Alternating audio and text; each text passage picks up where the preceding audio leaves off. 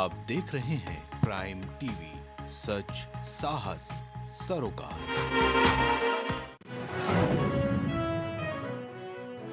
सपा संरक्षक मुलायम सिंह का निधन कल सैफई में होगा अंतिम संस्कार।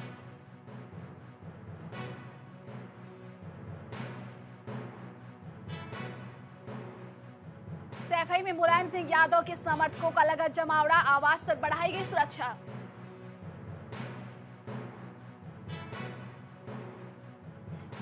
जोड़ो यात्रा के दौरान मुलायम सिंह यादव को दी गई श्रद्धांजलि चित्रदुर्ग में हुई शोक सभा। मुलायम सिंह यादव के अंतिम संस्कार में शामिल होंगे सीएम योगी आदित्यनाथ। आज ही रवाना होंगे सैफई।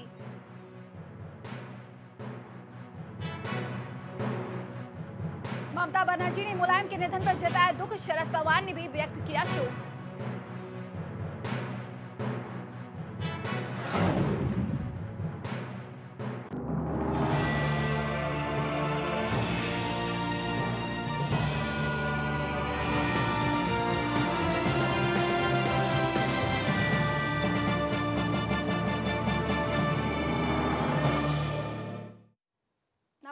आप देख रहे हैं प्राइम टीवी और मैं हूँ आपके साथ नंदिनी यादव। वक्त हो चुका है उत्तर प्रदेश की बड़ी खबरों का रुख करते हैं खबर की ओर।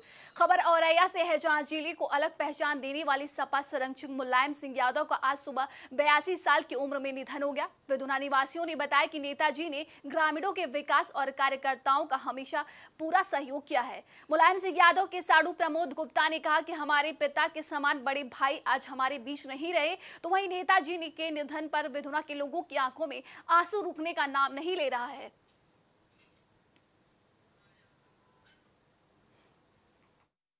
में माननीय मुलायम सिंह यादव हमारे पिता के समान थे। मैं ऐसे छोटे परिवार में पैदा हुआ था राजनीति नहीं कर सकता था।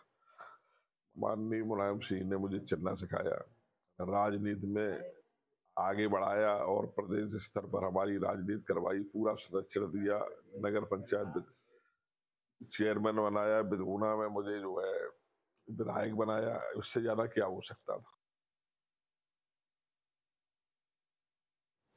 अलीगढ़ में बहुजन समाज पार्टी के संस्थापक एवं जन्मदाता बहुजन नायक मान्यवर श्री काशीराम साहब के 16वें परिनिर्वाण दिवस पुण्यतिथि में अलीगढ़ की जीटी रोड स्थित सम्राट लॉज में मनाया जा रहा है, जहाँ पर हज़ारों की तादाद में कार्यकर्ताओं और समर्थकों को लेकर महापौर मोहम्मद फुरकान अपने कार्यालय को सम्राट लॉज पहुँचे। लॉज में बहुजन समाज पार्टी के नेता सूरज सिंह, रणवीर सिंह कश्यप, पूर्व मंत्री राजवीर सिंह ने सभी कार्यकर्ताओं और बहुजन समाज पार्टी के नेताओं को संबोधित किया और माननीय काशीराम राम जी की उपलब्धि के बारे में बताया।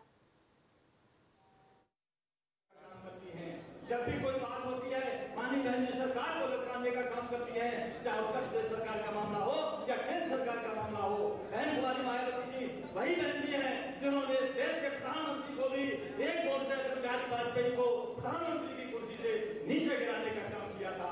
मानी बहन जी के, बहन जी के ऊपर तमाम लाखों करोड़ों लोग मानी बहन जी के साथ हैं। और मानी बहन जी, आप सबके मान सम्मान पैमान के लिए सम्मानित साथियों दिलदार मेहनत करने का काम कर रही हैं। दोस्तों साथियों,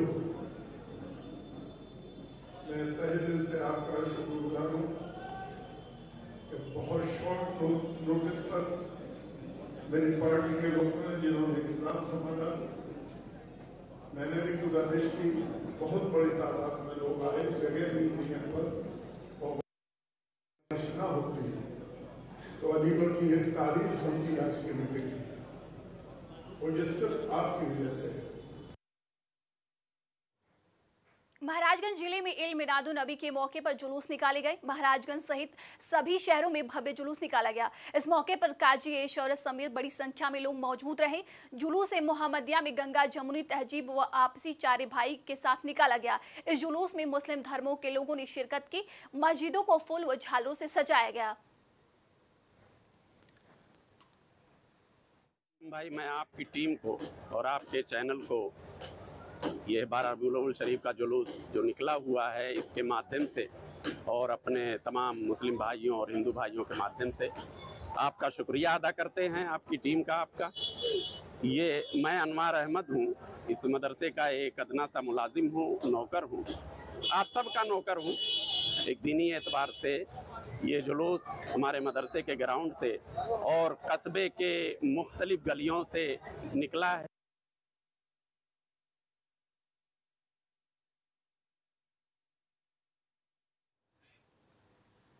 अलीगढ़ में भारी बारिश के बीच इल मिलादुलनबी के मौके पर हर जगह जुलूस निकाला गया। वहीं मुस्लिम समाज के लोगों ने पैगंबर मोहम्मद साहब का योम पैदाइश दिवस मनाया। इलाके में मनाए गए जलसे में लोगों ने कहा कि हम अपने नबी की शान में दुआ करते हैं। हाफिज अनवर हुसैन ने बताया कि आज हम लोगों ने जुलूस निकाला है। हम लोग हुजूर पैगंबर मोहम्मद साहब की उम्मत में हैं। मौलाना अकमल रजा ने बताया कि आज लोग ईद मिलादुलनबी का पर्व मना रहे हैं।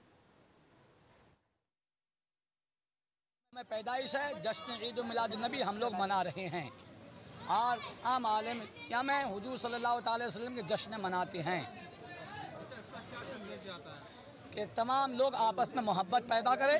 हुजूर सल्लल्लाहु अलैहि ने इरशाद फरमाया कि तमाम लोग मुसलमान, हिंदू सब मुसलमान भाई भाई हैं, सब एक साथ मोहब्बत के साथ पेश आए। खबर लखनऊ से है, जहाँ जानकीपुरम गार्डन मडियाव स्थित अभिनव कॉलेज के पास लगे ट्रांसफार्मर पर आकाशीय बिजली गिरने से बड़ा धमाका हो गया। धमाका इतनी तेज था कि आसपास के लोग इस धमाके से सहम गए, पर किसी के घायल होने के संबंध में जानकारी नहीं है। बता दें कि अभी तक बिजली विभाग के अधिकारियों ने घटनास्थल का निरीक्षण नहीं किया। साथ ही लाइनमैन की मदद से ट्रांसफार्मर सही कराने का भी काम किया जा रहा है।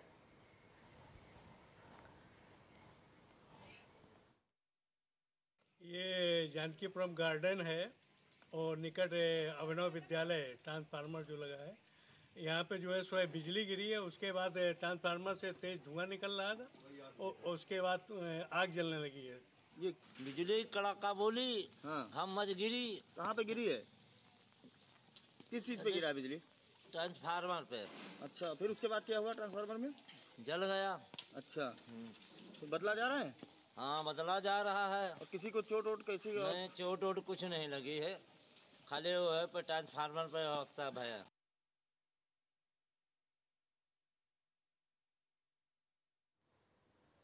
खबर कानपुर से है, जहाँ 18 घंटे से लगातार जारी बारिश के कारण पूरा शहर जलमग्न हो गया। साथ ही यतीम खाना और साइकिल मार्केट के दो जर्जर मकान जमी दोज हो गए। वहीं इस हादसे में किसी के घायल होने की जानकारी नहीं मिली। बता दें कि मौसम विभाग ने लखनऊ, कानपुर समेत देहात, फतेहपुर उन्नाव और रायबरेली में बारिश का रेड अलर्ट जारी किया है। साथ ही मौसम विभाग ने पुलिस और प्रशासन अलर्ट रहने के निर्देश भी जारी किए हैं।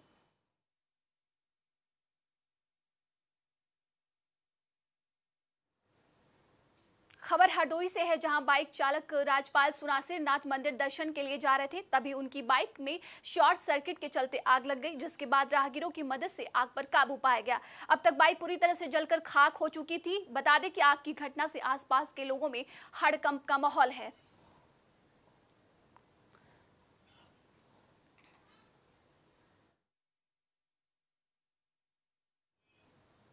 खबर फरीदाबाद से है, जहाँ पर युवक को रास्ते में रोककर कुछ बदमाशों ने चाकू से पेट में चाकू घोपा। दरअसल हिमादपुर से युवक अपनी नानी के घर से लौट रहा था, तभी उस पर हमला कर दिया गया। घायल युवक को दिल्ली के ट्रामा सेंटर रेफर किया गया है।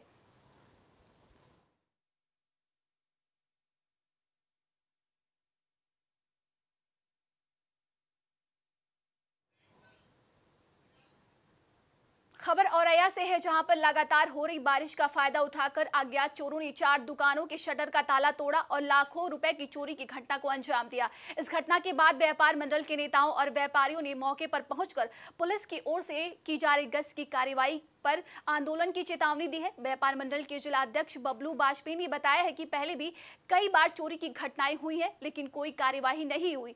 पुलिस के आला अधिकारी भी मौके पर पहुँचे। शटर की फंटी टेढ़ी थी ऊपर से जहाँ से चोरों ने अंदर प्रवेश किया और अंदर आके गोलक का पूरा सामान ले कितना नुकसान हुआ होगा? लगभग पच्चीस हज़ार रुपये का इसके अलावा और भी दुकानों में चोरी हुई है? चार पाँच दुकानों की और चोरी हुई है। यही सुबह सूचना प्राप्त हुई है कि दो दुकानों का जो शटर है शटर के साइड से जो जगह होती है वहाँ से शायद बेलचा लग के और थोड़ा खोला गया है और काफ़ी कम जगह के अंदर जाके इसमें घटनाकारी की गई है। अंदर जो गुल्लक बोलते हैं जिसमें सब पैसा रखते हैं कल वैसे दुकान बंद थी तो अभी अमाउंट सारा जो भी व्यापारी को देंगे उतनी की चोरी का आकलन किया जाएगा कितना हुआ है दो दुकानों का इन्होंने खोला है और बाकी तीन जगहों पे अटेम्प्ट हुआ है फ़ोन सवेरे गया कि मतलब ये ये आपकी दुकान का शटर जो है उसका हुआ है हम लोग भागते हुए आए, देखा अगर खोल कर देखेंगे तो क्या नुकसान हुआ क्या नहीं कितना नुकसान हुआ है? देखिए पता चलेगा तो दुकान को बोलो तो पूरी पूरी छोड़ गए। किस चीज़ की दुकान आपकी है? किस चीज़ की दुकान आपकी है? पुलिस मौके पर आई छानबीन की? पुलिस आई? सवाल है सबसे पहले। रात में कोई टोका टाकी नहीं है। आम अपराधियों में कोई खौफ नहीं पुलिस का। पुलिस में गश्त जो हो रहा है, कम से कम उच्च अधिकारियों पर उन पर क्वेश्चन मार्क करना चाहिए। रात में बारह बजे के बाद जो भी टहल रहा हो, वो बड़ा आदमी हो, व्यापारी हो, गुंडा हो लपंगा हो, और खौफ तभी पैदा होगा जब ये टोका टाकी होगी। औरैया में दो दिन से लगातार हो रही बारिश के बाद एक बड़ा हादसा हो गया। दरअसल कच्ची दीवार के गिर जाने से दीवार के अंदर एक ही परिवार के चार लोग दब गए। लोगों की चीख पुकार सुनकर ग्रामीणों में अफरा तफरी का माहौल बन गया। आनंद फानन में लोगों ने लोगों को बाहर निकाला। एक वृद्ध महिला की मौके पर ही मौत हो गई और तीन लोग गंभीर रूप से घायल हो गए। जानकारी मिलने पर पुलिस ने घायल को अस्पताल में भर्ती कराया। वहीं मौके पर जिलाधिकारी, एडिशनल एसपी सहित तमाम जनपद का फोर्स पहुँचा वहाँ पर।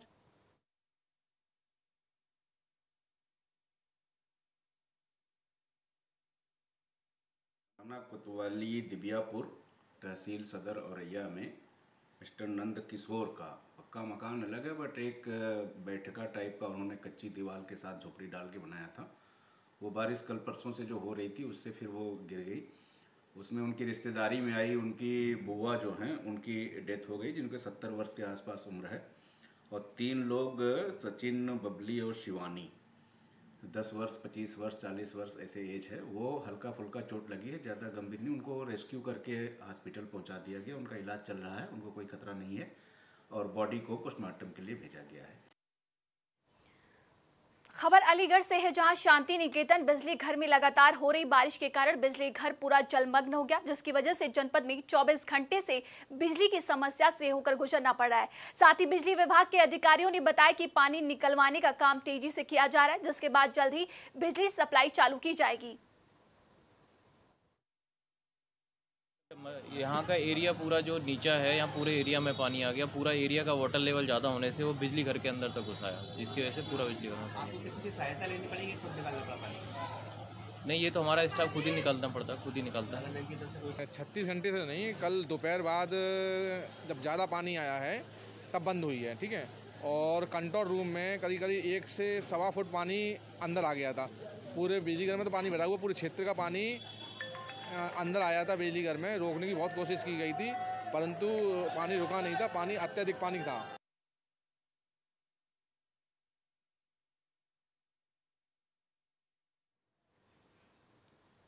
खबर अलीगढ़ से है, जहाँ नाबालिग लड़के के साथ कुछ दबंग लड़कों ने खाली कमरे में ले जाकर उसके साथ दुष्कर्म किया। साथ ही किसी से घटना की शिकायत करने पर जान से मारने की धमकी दी। तो वहीं नाबालिग ने परिवारजनों के साथ थाने पहुँच तीन लड़कों के खिलाफ मुकदमा दर्ज कराया है। पुलिस ने मामले में संज्ञान लेते हुए पीड़ित का जिला मलखान सिंह अस्पताल में मेडिकल करा के आरोपियों की गिरफ्तारी के निर्देश जारी किए गए हैं।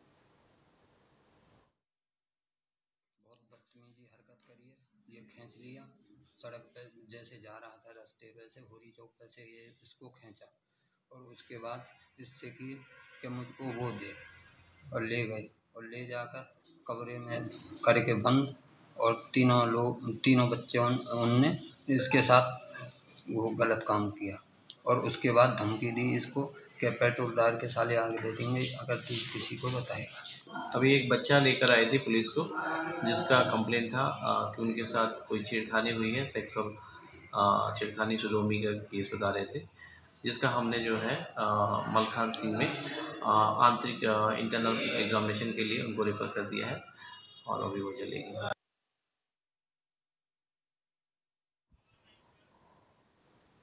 खबर बदायूं से है जहाँ लगातार बारिश होने के कारण पूरे गाँव में बाढ़ जैसे हालात हैं। वहीं ग्रामीणों ने बताया कि बाढ़ की वजह से हजरतपुर मार्ग पूरी तरह से बाधित हो गया है, जिसकी वजह से आवागमन में काफ़ी दिक्कतों का सामना करना पड़ रहा है। साथ ही ग्रामीणों ने कहा कि बारिश की वजह से उनकी सारी फ़सलें नष्ट हो गई है, पर अभी तक प्रशासन की तरफ़ से कोई सहायता नहीं दी गई है।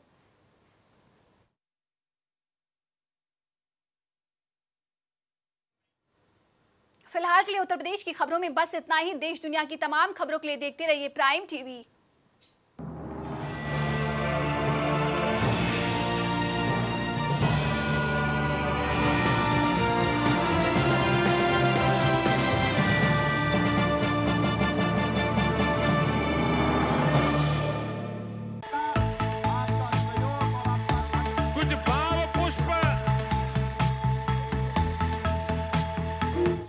देख रहे हैं प्राइम टीवी सच साहस सरोकार।